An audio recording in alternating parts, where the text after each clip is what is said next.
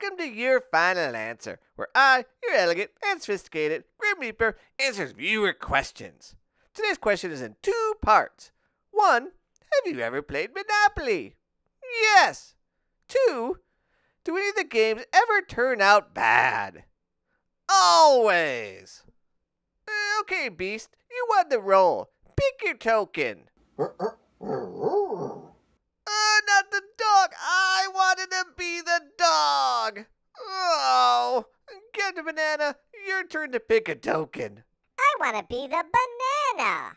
Uh, there's no banana token. Yes, there is. It's right here. That's the battleship. But they both start with B.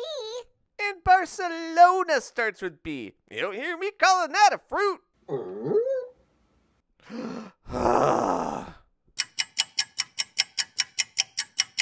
Ha ha ha ha! I've got hotels on two sides of the board. There's no way you can avoid this. You're stuck on go, so roll! Aha! You got a. What? How did that happen? Is this game ever going to end? Ah, sigh. Captain Banana, it's your turn again. Well, he's past the sell date. I, guess it's just down to you and me now, Beast. Your turn. Uh, that's a fine how do you do.